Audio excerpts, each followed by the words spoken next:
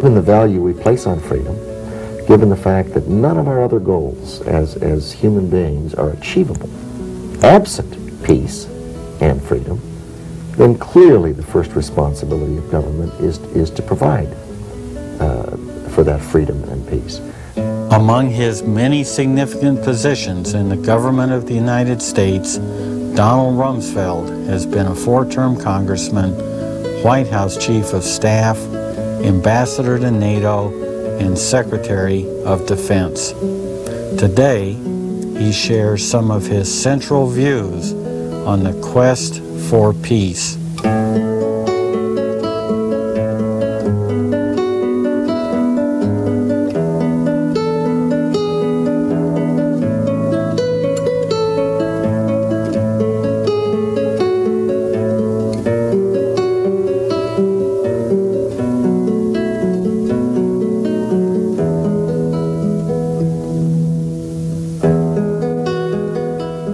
Mr. Rumsfeld, as you've thought about the problem of achieving peace in the nuclear age, a significant development for you has been the massive shift in power since World War II from the United States to the Soviet Union.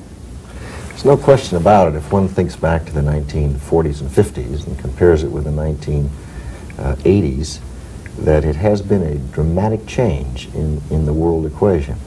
The United States in the post-World War II period, of course, was preeminent politically.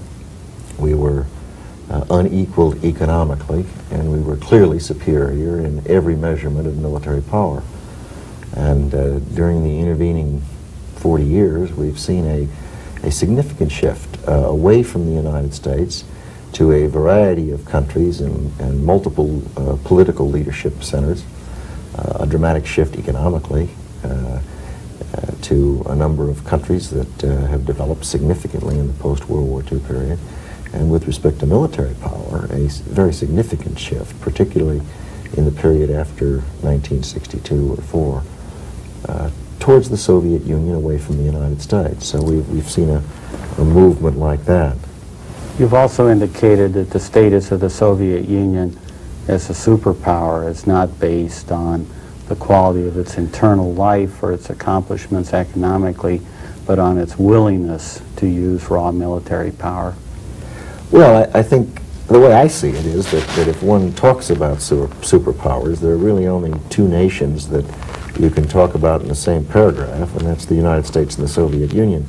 The United States, interestingly, is a significant world factor from the standpoint of our economy and clearly uh, attractive from the standpoint of our political views and values in terms of freedom and self-determination for nations. Conversely, the Soviet Union, the other superpower, is obviously not a superpower because of the persuasiveness of its political ideology. It has not been winning the hearts and minds of the world uh, politically, nor is it a superpower economically. Indeed, quite the contrary. It's got a centralized system that has been notably unproductive its only reason for being at the superpower table is just raw military power ships, guns, tanks, planes, missiles, and the options that that provides the Soviet Union in terms of asserting its influence in the world. When you were Secretary of Defense, you commented a number of times that the evidence before you was clear that the Soviet Union was seeking military domination. Is that still your view? Well, I think that it's, it's it's unambiguous that since about 19, early 1960s, the Soviet Union has been investing in, in defense and de denying its consumer sector at a rate of a, somewhere, I suppose, between 10 and 17 percent of its gross national product, uh, depending on the year and one's view. That is, that is a significant portion of its total economic uh, product. There is no question but that they have been doing it during periods when the United States was uh, investing itself, but they have also been doing it during periods when the United States was not investing in defense. So uh, they, they clearly have it as a central goal uh, to maintain and develop and build up a military power in the world that, that uh, um, equals or surpasses the United States. In commenting on the persistence of the Soviet buildup, You've indicated they're not distracted by arms control negotiations. Well, they're not distracted by a number of things. Uh, they're, they're not distracted by a free press. They're not distracted by a Congress that uh, changes its mind from time to time, as ours does. They're not distracted by their allies, since their relationships with their allies are very different than our relationships with our allies. And they certainly have not been distracted by the, the process of arms control. If one thinks back, the SALT process has been going on in, in oh, 10, 12, 15 years now. And during that period, we have seen the most massive buildup in the history of the world by the Soviet Union. They have continued their investment, uh, notwithstanding the fact that these discussions and debates and agreements have been uh, sequentially evolving during that period of time. Reflecting on the relationship of military power and the Soviet buildup to arms control, for you, the central goal is the preservation of peace and freedom in the world. It is. The thing that's concerned me about the national dialogue on this subject is that so often the issue has been should there or should there not be a particular weapon system? Uh, should there or should there not be a particular arms control agreement? Um, should there or shouldn't there be a, a unilateral freeze, for example? Uh, Star Wars and all these other issues. And I think that, that they are useful questions to discuss, but they always have to be put in the context uh, of what our principal goal as a nation is. And our principal goal as a nation has to be freedom and peace. And, and that has to be the standard against which arms control agreements or, or weapons systems are tested. Do they contribute or don't they contribute? To the extent they do, then one can make the case that, that they're desirable. Uh, too often they tend to get a momentum of their own. You've indicated that there are three aspects of arms control that are very important to consider. And I'd like to give them to you one at a time and ask you to share what you mean. The first is that arms control agreements will affect America's strategic strength throughout their duration. There's no question about it. Uh, the United States does not enter into treaties or agreements uh, except with the full conviction that we will adhere to them. So to the extent one agrees to a uh, particular uh, treaty, uh, then our Congress and our executive branch arrange our, the development of our capabilities within the constraints of that agreement. So one has to uh, recognize that technology evolves. Um, we have to be able to look out for the duration of those agreements and, and understand in an evolving technological world what will the implications for our national security be if we and the other party to an agreement agree on constraining A, B, C, or D. And, and too often we have a tendency to look, take a snapshot today and think, well, today it's desirable, and, and not reflect on what the implications will be down the road. Following from that point, it's essential to keep in mind that arms control agreements set the context for the next arms control negotiations. They really do. Uh, there's no question but that SALT I and Vladivostok formed the stepping off point for the uh, SALT II deliberations, which have been taking place for a good number of years now. Uh, it's an important point because one has to recognize that, that, that in a negotiation, there's a tendency on the part of people to um, to want to get an agreement. It's a natural human instinct, and, and that sometimes leads to a certain amount of impatience. And in examining an agreement, there are a lot of complexities, but one of the ingredients ought to be what does that agreement do by way of forming that stepping off point? Is it going to create an environment for the coming negotiations that, that will contribute to the possibility of achieving, achieving something that's in our national security interest, or might it uh, almost codify some asymmetries or some disadvantages for us that while not important with respect to that one agreement, might very well be uh, significantly disadvantageous to it with respect to a follow-on agreement. The third key element for you is the effect on world opinion. As I mentioned, one of the great differences between the United States and the Soviet Union is that we, we disagree on, on fundamentals. We, we believe in freedom of the individual and individual rights and a free press, and, and they don't.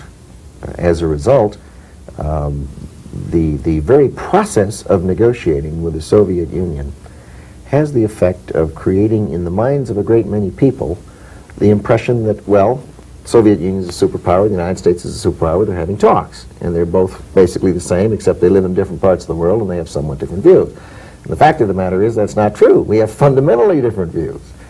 And uh, we are coming off that side of the wall, and they are coming off that side of the wall. And the chances of our finding areas where we can agree, where our interests converge sufficiently uh, at, at a point in history, um, are, are, are, are not predictable.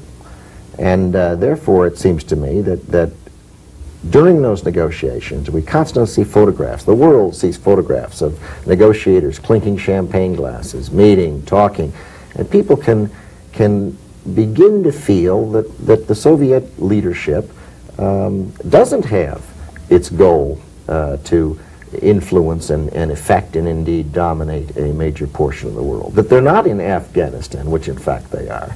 Uh, that they're not engaged in, in wars of liberation in South America and, and Southeast Asia and other parts of the world. And I think it's terribly important that we keep in mind those differences. So, so the, the lulling effect of arms negotiation has to be guarded against so that we, we recall the importance of those differences in behavior. As you reflected on the SALT record, the nearly two decades of strategic arms limitation talks that have gone on, you feel both it's an era of unprecedented military buildup and it has not been to the United States' advantage. Why? The United States, during that period, um, the 15 years of the SALT deliberations, has suffered from a Congress that had been hopeful about the possibility for agreements and uh, in their misguided uh, way managed to reduce defense budgets consistently during that period to the detriment of our capability and second, to the advantage of the Soviet Union, and in my judgment, to the detriment of the possibility of achieving agreements, because there's no question but that the Soviets are much more interested in negotiating at that point where they think we have capabilities worth negotiating about. To the extent we're engaged in unilateral self-denial, they're not very interested. You've indicated we put the cart before the horse. What do you mean?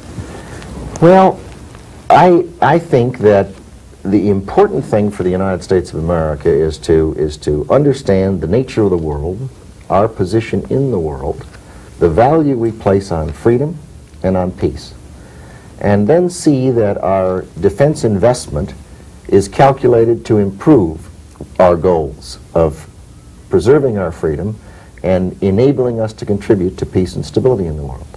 I think arms negotiations, again, have to be looked at totally in the context of to what extent do they contribute to uh, our ability to preserve our freedom and our ability to contribute to peace and stability in the world.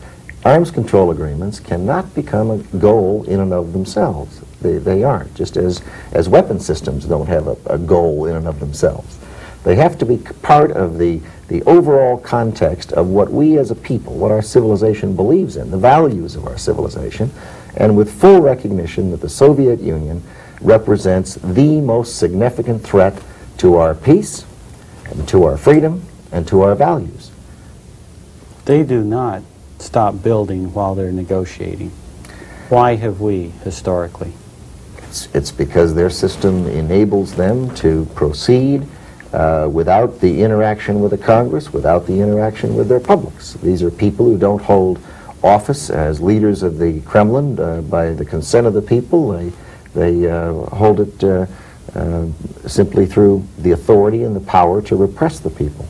In the United States, conversely, our people are affected by the press, they're affected by educational institutions, they're affected by their hopes and their aspirations, and in a representative system, there's no question but that, that uh, we, we, from time to time, uh, err. Uh, the old saying that free people are free to err as well as be wise, and, and we've made errors. And uh, it seems to me that the, um, the important thing for us as a people is to recognize that we've arrived at a point today where, unlike the 1950s and 60s, we don't have a big margin for error.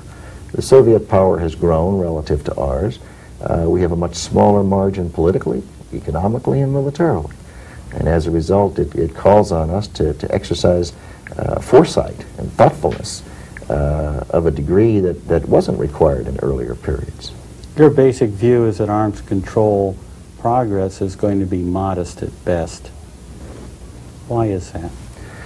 Well, I think what's important uh, for free people is to, is to study history and, and to, to review the record of arms control. I think the, the, realities are that notwithstanding our hopes and our, our aspirations and our good intentions, uh, arms control throughout history has tended to be uh, A, a snapshot of weapon systems that existed at the moment with very modest constraint on future developments. That, that the general record of arms control has to be characterized as modest. What has contributed to peace in the world since World War II has clearly not been arms control agreements. It has been the deterrent effect that created in the mind of potential aggressors the reality that it was not in their interest to undertake those risks. But based on your assessment that our deterrent capability had been deteriorating, you opposed the final SALT II agreement, despite a belief that arms control in general is in the best interests of the United States.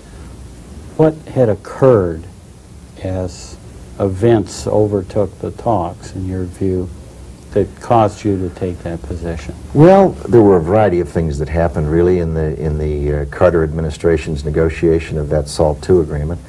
Uh, one thing was that they came into office and, and unilaterally began canceling weapon systems, which weakened the Soviets' perception of what our future strength would be. Therefore, the Soviets, in my judgment, felt they were in a much stronger negotiating position. Mr. Carter canceled the B-1 bomber, he delayed the MX missile, he delayed the Trident, and your point is that you unilaterally do not do those things.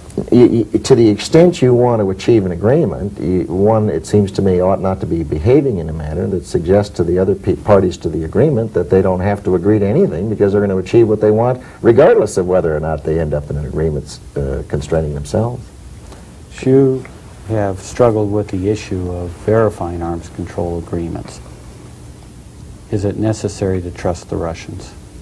No, it's not only not necessary to trust the Russians, but uh, uh, we would be fools to, to even think that we could. Um, what one has to do is to assure that arms negotiations take place in an environment where the, the issue of verification proceeds in parallel with the negotiations. And to the extent we, we uh, seek agreement on certain elements, they must be elements that are verifiable. And of course, there's a, a significant asymmetry in this regard. We, uh, the Soviet Union, with a controlled press and controlled access to many locations in their country, uh, is competing with the United States with a, a, totally free press, with a leaky Washington, where everything seems to end up in the newspaper, and where uh, Soviet nationals have access uh, throughout the United States. And, and we have very few secrets as a country. So what we have to do is, is through national technical means, be able to satisfy ourselves that in fact those things constrained uh, in the agreement are being constrained by the Soviets. With a properly crafted agreement, is that possible? Sure, it's possible. You can, you can, uh, uh, the best of course would be on-site inspections, which would, what we would be delighted to engage in, because we in effect have that unilaterally now, whereas the Soviet unions deny us on-site inspection. Uh, but I, I, uh, I think that it is perfectly possible to, it's not easy, but it's possible to find areas where we might agree that in fact we would have the ability to verify those agreements. You just indicated that one of the factors that influence the United States in arms control agreements is the fact we are an open society. Which is a great strength. But a second is that we also have a special relationship with our allies, mm -hmm. very different than the Soviet Union with its satellites. How does that work? Well, of course, I used to serve right in the center of that set of issues as United States Ambassador to NATO, the North Atlantic Treaty Organization. And it is a dramatically different set of relationships. The United States leads not by command, but by consent. We lead uh, only to the extent we can persuade these other sovereign nations that, that moving in a certain direction is in fact in our collective interests. And the reality we, is that we have great areas of common interest, but by the same token, we have areas of somewhat different views, politically, economically, as well as military, militarily. Conversely, the Soviet Union satellites uh, have been positioned in a, in a manner where they are highly dependent on the Soviet Union and exceedingly responsive to the Soviet Union. And, and they don't have to persuade. Uh, they, they can command. Uh, they have Soviet troops in many of the nations, the satellite countries, the Warsaw Pact countries. One of your concerns about future negotiations is the unrealistic expectations held by your fellow citizens. I've actually been kind of encouraged in this regard uh, over the past uh, decade and a half. Uh, there's no question but that, that as we've gone through this period, the level of understanding, uh, the level of realism has improved. I mean, it, it, was not an accident that President Carter's SALT II agreement was not ratified by the Senate. The votes weren't there. He negotiated an agreement that, in fact, was not in the interests of our country, he was not in a position to get the, the Senate of the United States, which was controlled by his own political party, to agree to it. And, and that suggests that the reason they weren't willing to agree with, to it was because the American people, their constituents, in fact, were concerned that, that, that it wasn't in our interest. But we have had three treaties negotiated under several different presidents in the post-World War II era mm -hmm. that were signed, mm. were negotiated fully, carefully, not ratified. Is that a problem of our democracy, or was it the problem of the treaties? Well, the significant treaties that have been negotiated in, in my adult lifetime have in fact been uh, ratified by the Senate. To project ahead to issues that will be before the democracy with the SALT III treaty whenever it comes before us.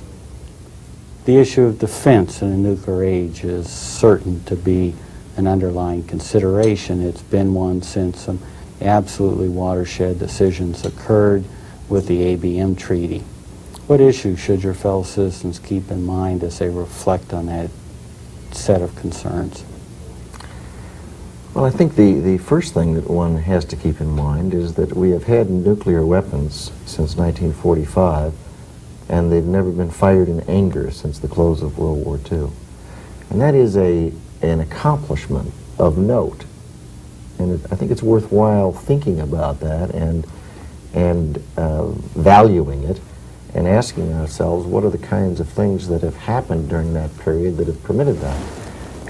With respect to defense, I've never found it possible to separate offense and defense. If one looks at the history of, of, of the world and conflict, and potential conflict, or deterrents that have inhibited the outbreak of conflicts, it is the, it is the interaction of offensive capabilities and defensive capabilities. And it isn't at one level, it's at all levels across the spectrum. That is to say, at any given time, we face a variety of risks or threats, to use the, the Pentagon language. Um, nuclear, uh, theater, uh, regional, uh, guerrilla, uh, in the modern era, state-sponsored terrorism. No one offense or defense creates a balance that provides a deterrent at all levels of the spectrum in direct answer to your question, it seems to me one of the realities we're facing is that one of the reasons SALT II has proven to be so difficult is the fact that as technology has evolved, we have seen these so-called gray area systems. They didn't neatly fit in the strategic category, and they clearly didn't fit only in the theater category. For example, the backfire bomber was, was a question for some time as to whether it was strategic or whether it was, never any doubt in my mind that with a refueling probe it was strategic, but, but it also had a theater implication. The cruise missiles, obviously, can be both conventional and nuclear, and they can be strategic, meaning intercontinental, and theater. Should You reflect on the role of conventional forces in the strong non-strategic military preparation. What's its relationship to arms control? Well, it's directly linked. Um, think of Western Europe. Um, to the extent the, the United States and our NATO allies fail to make the necessary in investments for conventional capabilities, we create a, an enticement to the Soviets to engage in a non-nuclear, conventional uh, Uh, adventure in Western Europe. Now, the problem there is that that, that creates the risk of the, the use of nuclear weapons.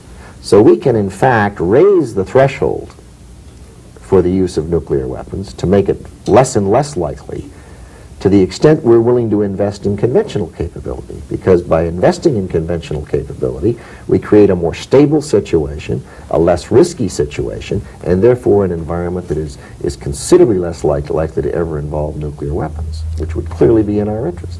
Should people look to arms control to change the strategic balance? No.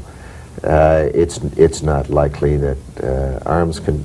I, I don't know of a single arms control in, in history that has altered the balance. An arms control agreement, they tend to be a snapshot of what is. They tend to put constraints on a limited number of things. And that is not to say that, uh, that, there, that, that that might not be useful. It is only to say that, that the total balance is a combination of so many factors that uh, it's unlikely that that would occur.